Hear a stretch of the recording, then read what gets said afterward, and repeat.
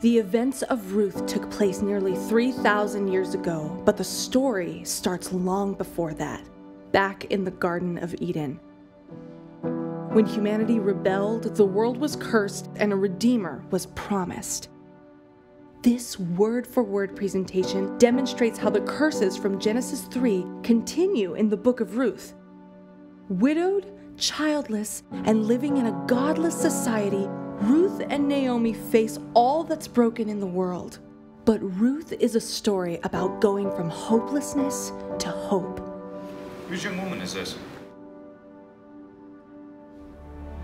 We invite you to watch as God uses the faithfulness of Ruth and Boaz to reverse the curses from the garden and continue the line of promise for a future Redeemer. One who brings ultimate redemption from the brokenness of sin and even death itself.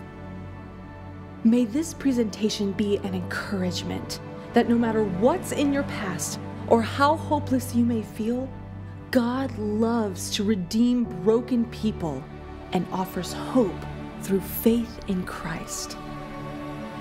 Do not urge me to leave you or to return from following you. For where you go, I will go, and where you lodge, I will lodge. Your people shall be my people, and your God my God. Where you die, I will die, and there will I be buried. May the Lord do so to me and more also, if anything but death parts me from you. Ruth.